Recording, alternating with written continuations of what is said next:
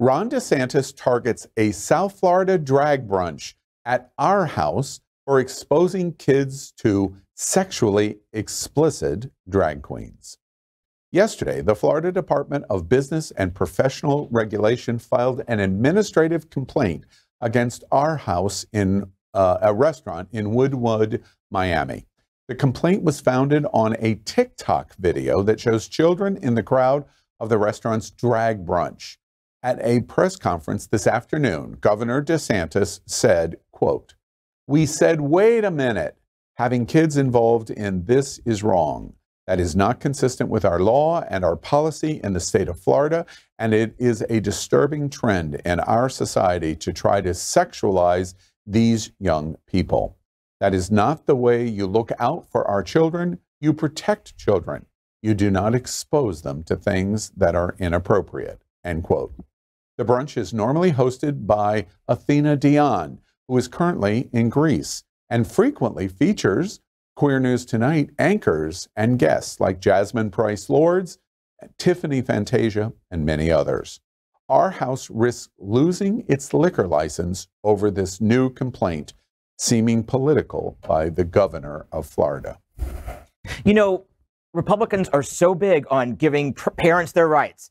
Make sure that parents can protect their children. Uh, Don't Say Gay was totally founded on that BS premise. And then they're saying, no parents, you can take your children where we say you can take them. This, they are not pro parental rights. They are pro authoritarianism. And if this doesn't underscore the need for us to elect a good Democrat this November to the governor's house, I don't know what will. This frames the issue so perfectly. I imagine at this moment, uh, the Charlie Crist campaign and the Nikki Fried campaign are in meetings at this moment, live at this moment, to talk about uh, this really shameful moment. Well, and if you want to talk about sexually perverse acts, you look at JonBenét or any of those little little queens, and they put at the age of four or five makeup and wigs on them. That's sexualizing a kid.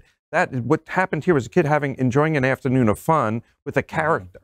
It wasn't like she there was a lecture on sexuality or they were talking about their what they really are. You know whether they're taping it up or or not. I mean, they were just entertaining. Mm-hmm. I, in, the, in the video, you can see that they were just literally dancing yeah, and, and having a good time.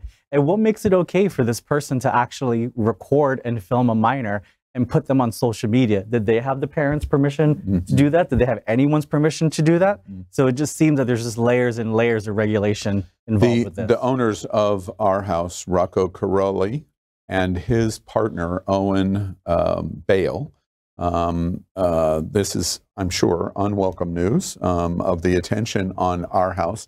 Um, but I pretty much imagine that uh, a lion's share of community in South Florida is going to rally behind this business and uh, this drag brunch. It is really an incredible double standard, in my opinion.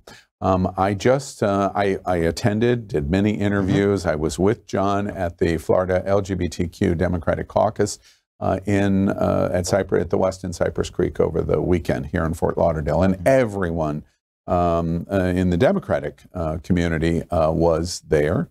And we went to a restaurant um, at Cypress Creek called Twin Peaks, mm-hmm. and it is a glorified, a larger glorified Hooters and uh, an upmarket Hooters. And the sexualization that takes place in the restaurant is incredible uh, in terms of the busty girls that serve. And, if you and let's get clear, they are sexualizing women. Yeah, well, and and and you know, it's a different. Uh, yes, I, I agree with you, but a, a, a, a different conversation. Eh, my point is, if you brought your children to Twin Peaks or to Hooters, Ron DeSantis would have no issue with that at all. This is an identification culture war issue that he thinks he can become president of the United States on. And that's why he is administering the marching orders in every possible way, his press secretary in every possible way, because he thinks he has fertile ground to win this election in November and become president of the United States in 2024.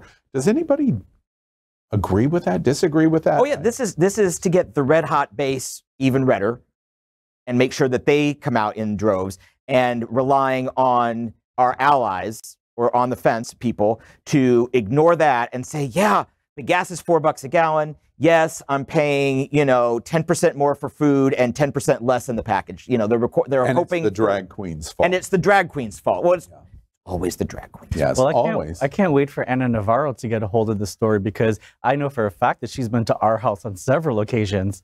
So uh, when she hears about this, I can't wait to hear her perspective on DeSantis. Yeah, and, and- and just out of curiosity for R House and the brunch, and again, we we do the shout out of support for Athena Dion. She does an amazing job of advocacy, not only in her performance, but advocacy in LGBT uh, uh, community.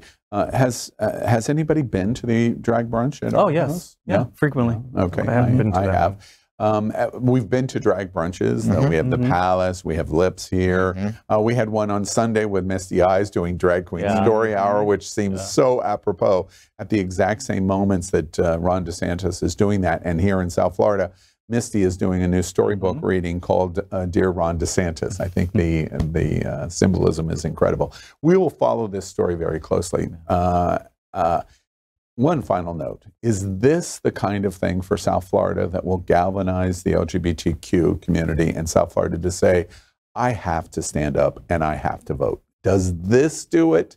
Or, Sadly, I don't think it does. I mean, we talked the other day about this exact same thing. What will it take to get people to realize that they need to get out and they need to vote, and it affects them?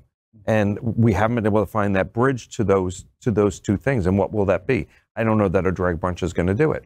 Mm. And I think this is more not only for the LGBTQ plus community, but also for the allies, because they're the ones that are co- going. The majority, in my opinion, that I see when I go to drag brunches oh, are at these shows.